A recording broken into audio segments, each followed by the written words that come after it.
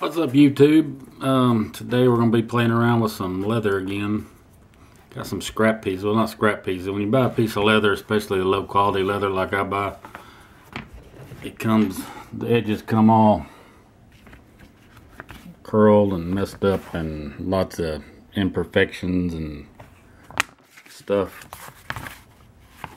So if you ever want to do some leather work and you order a, a side or a shoulder or something, don't expect to get a big pretty piece because all around the edges look like this and it'll have marks all over it and stuff. So we're going to try to use these not so good pieces for, uh, for something. I think I'm going to build, try to build me a little survival tin belt pouch holder.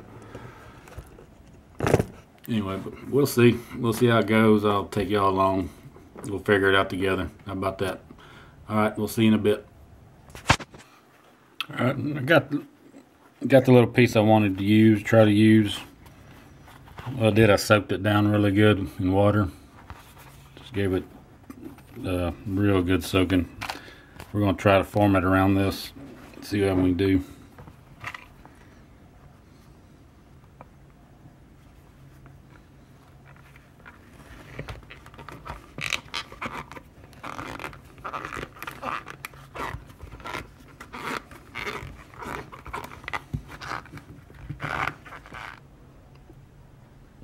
Alright, it's kind of hard to see, but uh, I formed the leather around it. I used some clamps to give it its, you know, square shaped form around that tin. I'm just going to let it set and dry. When it dries, it'll be back hard again, regular leather, and should be in that form. I did it like this because I'm going to do a flat. I don't want the back of it to bulge out when you put the tin in. I've seen some people wet form them after the two pieces are sewn together, the front and back. But when you do that, the back bulges out too. I want it to lay flat against the belt and your body when you have it on. Anyway, we'll get back here in just a little bit. Alright, here's what we got after wet forming it. Just a shell. So what we'll do is uh, we're going to figure out where I want to cut it off at. Slide it in. Figure out the stitching, where I want to put the stitching for it. and Turned out pretty cool though. That slides right up in there.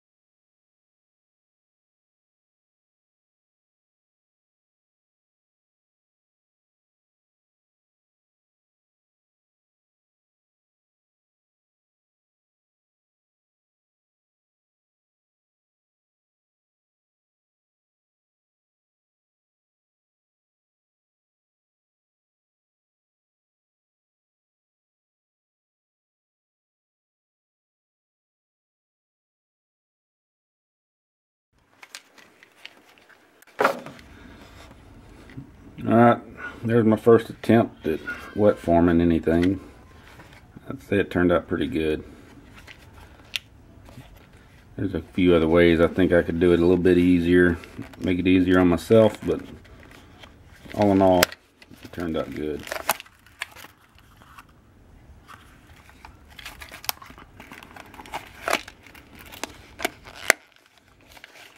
But y'all did distract me because I sewed up, glued and sewed the sides and the whole thing together, and I forgot to put my belt loop on. So I went ahead and just cut slits for the belt loop for uh, running it through your belt. I think it'll be alright. Anyway, there you go.